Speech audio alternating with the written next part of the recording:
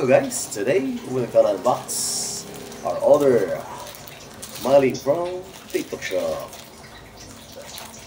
Ordered in SB imported from Mexico, Pampanga. Ayan guys. And, and,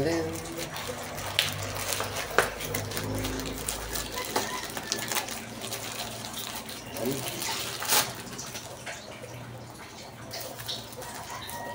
Ayan. Grabe, paano talaga siya guys. Nakababong wrap pa. Kahit na naka ito isang kahit na isa siyang ginata. Balot na balot talaga guys. Sabi. Nakakarapon pa guys oh. Tibay na tibay pagkakalagay. Ayan. Korean. Limang piraso na siya. And hindi ata ito aabot ng ano. Hindi siya aabot ng